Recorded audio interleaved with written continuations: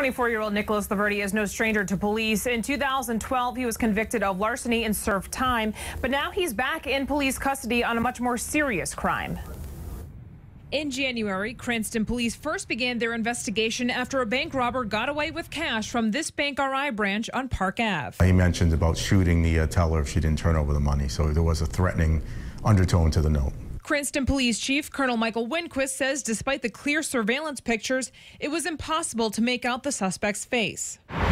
But just a few days ago, a carbon copy of the January bank robbery.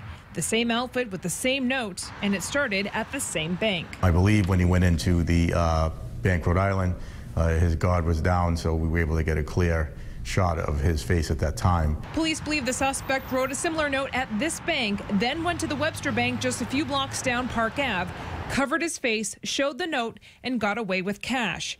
Police identified the suspect as 24 year old Nicholas Laverty and shared the surveillance photos with the public. Tips came pouring in, and Cranston police, along with Rhode Island State Police, got an arrest warrant for Laverty, who was staying at a rehab facility in Exeter where they tried to catch him. He was able to exit uh, a bathroom window and escape into the wooded area. Police say he stole this pickup truck to get away.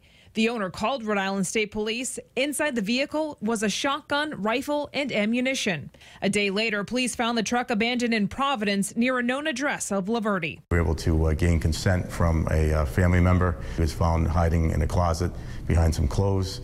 Um, he immediately surrendered at that point and was taken into custody.